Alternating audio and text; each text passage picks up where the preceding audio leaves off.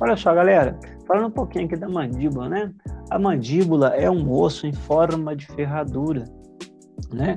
É, na tenra idade, na formação intrauterina, esse osso mandíbula, né? Quando a gente fala o osso mandíbula, eu também poderia falar entre aspas, tá, gente? Só para a gente exemplificar aqui, como se fosse as mandíbulas no plural, porque ele vai se conectar aqui no meio, na sínfise mentoniana, unindo um ao outro.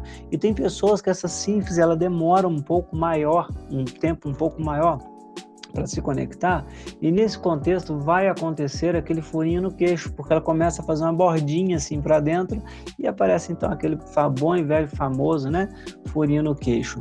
Observa só, galera, então a mandíbula, né, que também anote no seu caderno para você não ser pego de surpresa. Também posso falar que a mandíbula é um osso maxilar. Então eu posso falar que eu tenho ossos maxilares superiores e inferiores, cheio perfeitamente. É o termo mais comumente usado? Não, não é o termo mais comumente usado. Mas os livros de anatomia vão falar para mim assim: olha, a mandíbula também é conhecida como uma espécie de osso maxilar. Tá? Então é maxilar inferior. Pode ser referido dessa forma? Pode, perfeitamente. Observa que na frente aqui eu tenho a região do mento, né? A protuberância mentual mentoniana. Lembra de jumento? Por que, que ele recebe esse nome? porque ele tem um prolongamento é, da, da, sua mandíbula muito avantajado ali, tá? Vamos lembrar disso aí. Nós temos, pessoal, o processo alveolar, que são aqueles buraquinhos, aqueles encaixes cônicos que vão receber ali as raízes, as raízes dos dentes.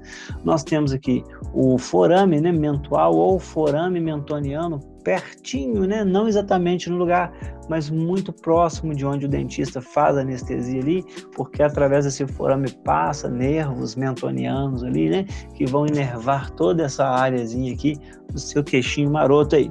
Então fica ligado. Eu tenho também aqui essa parte horizontal, porque está paralela ao chão, pessoal, que é o corpo, corpo mandibular ou corpo da mandíbula.